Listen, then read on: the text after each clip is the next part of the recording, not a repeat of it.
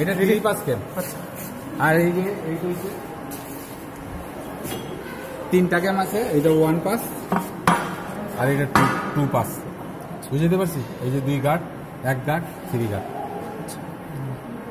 three pass three pass cam আর two pass cam one pass ক্যামের কাজ কি জানেন তো? মানে আমি যতটা ডেপ দিব ফাইভ মিলিমিটার ডেপ দিলে থ্রি পাস ক্যাম হইলে তিনবার করবে। আর টু পাস ক্যাম হইলে দুইবারে করবে আর ওয়ান পাস ক্যাম হইলে এক রোটেটি দিয়ে করবে যেমন এই যে ফাইভ মিলিমিটার ডেপ দিছি এটা কিন্তু ফাইভ মিলিমিটার নয়। প্রথম পাশে কত? কত বড় যে দুই মিলিমিটার কাছে তারপরের পাশে দুই মিলিমিটার তারপরের পাশে এক মিলিমিটার পাঁচ মিলিমিটার মতো। ঠিক আছে? জানগা। লেখালেখি করে। এই রিডিংটা কীভাবে নিতে হয়? ওই যে বলে যে কে জানি দেখছে আপনি দেখলেন না? আপনি বলে দেন।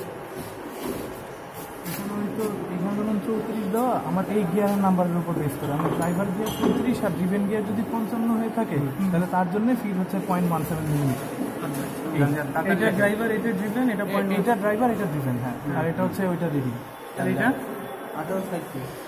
আঠারোশো ষাট। এটা হচ্ছে ডাবল স্ট্রোকের পরিমাণটা। আচ্ছা আচ্ছা। যান যান যান।